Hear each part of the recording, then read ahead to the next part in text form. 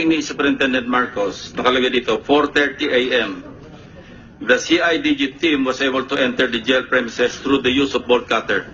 You confirm?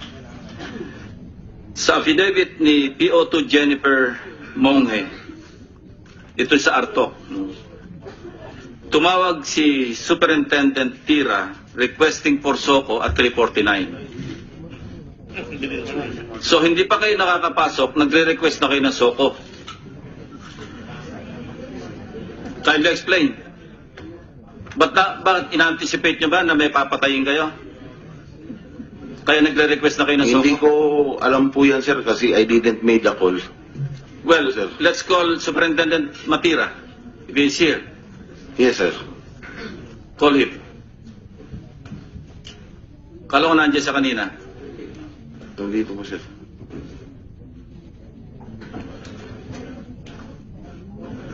Anyway, the record speaks for itself, ano? Kasi nakalag yung time, 3.49.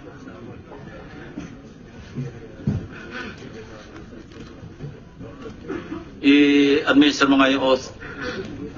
Consent.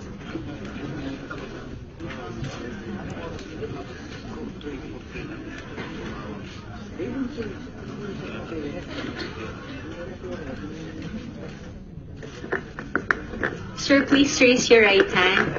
Do you solemnly swear to tell the truth, the whole truth, and nothing but the truth in the Senate inquiry and investigation?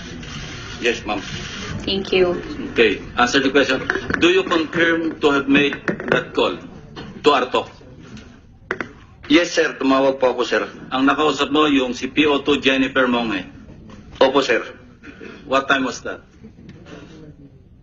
Hindi ko malala masyado, sir, yung oras, sir. Pero sigurado ako, sir, tumawag ako, sir. Okay, that's all. Thank you. So, paano mauna? Para kayo tumatawag ng punerarya, wala pang enkwentro. Senator De Lima is recognized. Do we have the answer to that question, uh, Mr. Chairman? Why, why was Soko called at 3.48 when in fact it was only at 4.30 a.m. when they were able to enter? Bakit? Bakit ganon? You raise a question, there is no answer on the record. Where is the answer? What is the answer, Mr. Well, both of them cannot answer. Superintendent Matira cannot even recall what time he uh, he called Artok. But as per record of Artok, 349. And Superintendent Marcos cannot explain because according to him, he was not the one who made the call. But Who- who- somebody who must, made the call? Who must made the explain. call? Matira.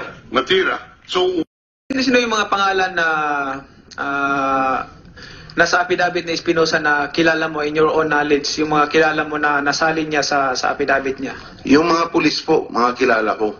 Ay, Kasi, sino- kasi sa Region 8 po nakasign yun eh. Sino-sino yung mga pulis na yun? Pwede mo bang pangalanan dito? Eh, Hindi ko po kabisado, nakakabisado po yung Rias. Nandito Senator po. Pacquiao, Opo. kilala mo bang personal si Kerwin Espinosa? Hindi po, sir. Hindi pa kayo nagkita maski kailan? Hindi po, hindi, sir. kaya mong pangatawanan niya pag, pagbalik ni Kerwin. Remember, he's now undergoing deportation proceedings. Ha? Hindi ko siya kilala ng personal. Hindi pa kami nagkita niyan, sir. At sabi ko nga po, sir, ah, yun, hindi ko po siya kilala. Pero ah, may narinig ka na pangalan na Kerwin. Oh, balita lagi sa Region 8 yan eh. Pero ba, bago pa bago pa pumutok itong mga ah, problema na to about sa pamilya nila, narinig mo na yung pangalan ni Kerwin. Opo, sikat po yan na drug lord eh. Ah, ganun ba? So, ah, sino-sino gusto kong sino-sino pang ah, alam mo na nakilala mo na nasali doon sa ano, eh, sabi mo nga mga pulis, wala bang mga ah, politician o government officials na na na, na, na, na alam mo na nasali doon sa affidavit ni Espinosa? Politicians, sir. Politician, ah, um, government officials, eh, Hindi ko po, ang nakakabisado po sa mga politikong involved, si Major Espinido po. Kasi siya po ang person na nakakakita. May according to you, ano, yung knowledge mo lang na, na may narinig ka, ah, di ba may narinig ka doon sa ah, ah, Marami po kong naririnig, sir, pero ayoko po mag-speculate kasi hindi ko pa kahit minsan nabasa yung affidavit. Okay. Diretsuhang tanong, wala ba kayong pinoprotektahan ng mga politiko o government officials? Wala po akong pinoprotektahan, sir. Nagtatrabaho lang po kami bilang pulis. At itong kampanya po ng presidente natin, naniniwala po kami dito. At yung napatay po ng mga tauhan ko, hindi po anghel yun. Pumapatay ng tao, drug lord. Ang dami pong sinisirang buhay. Kaya po, yung operasyon po namin sa illegal na droga, tuloy-tuloy po. Pero yung, po ta- yung tao na yun, nakakulong na eh, tapos pwede pa nating magamit para mahuli yung mga, yung mga kasabwat noon. Yung mga ano na, na, na yun, yun yung magiging, yung tulay natin para, para magamit, para mahuli pa yung mga drug lords na kakilala noon. Ang nangyayari nga po sa impormasyon namin, ginagawa po ng mga drug lord, nagpapalabas po ng mga pangalan ng mga pulis para mag-away-away, para pa din po magkaroon ng conflict within the organization, para po bumagal ang kampanya ng droga, May tinatawag at naman sila. mananatili sila, sa, kumbaga, they're trying to survive for the next six years, hanggang matapos po ang termino ng presidente natin. Yung po ginagawa ng sindikato, sir. Paano mo nasasa ma- paano mo nasabi yan na ang ginagyan ang ginagawa ng mga drug lord? May uh, what your what your evidence? Gaya po nung intelligence report po namin na itong mga affidavit na ina-execute, sinali na yung hindi pare, pati hindi involved, sinasali. Kumaga, para siyang halo-halo lang. Parang yung hanggang sa ito, may confirmation nga, galing nga sa social media, pagkamatay ni Mayor, yung kapatid mismo nagsalita. Ang sabi ng kapatid dito, ah, Ramon said his brother to, uh, told him that he was not the one who made it, the, the affidavit, and its content didn't came from him. One time I asked my brother, Mayor Espinosa, did you really make the affidavit? And he told me the affidavit was ready-made. It was prepared by someone else and was just asked to affix my signature. He said, Ramon surmised that some police officials prepared mayor's affidavit. Open po to sa social media, sir. Diretso ang tanong ulit. Doon sa Region 8, ah, kayo-kayo, ever since, wala ba kayong involvement sa illegal na droga? Ako po mula po nung nagserbisyo, pumasok po ako ng 1996 sa serbisyo bilang pulis po. Wala po akong illegal na activities kahit saan po kayo tumingin sa serbisyo ko. Nilaan ko po yung buhay ko sa pagsiservisyo sa bayan. Pero gusto ko lang malaman sa sa ating ah, ah, PNP kay ah, General Magalong yung yung comment mo, yung pananaw mo kung tama ang ginawa ng mga na, na, na- ng mga tauhan mo sa pagpapatalikod doon sa sa mga pulis at sa mga ah, jail guard. Kung tama ba yung ginawa nila? Mr. Chair, Your Honor, sa amin pong, ah, sa amin pong police operational procedure, when we are dealing with criminals, that is actually po yung tamang procedure. Let them face the wall.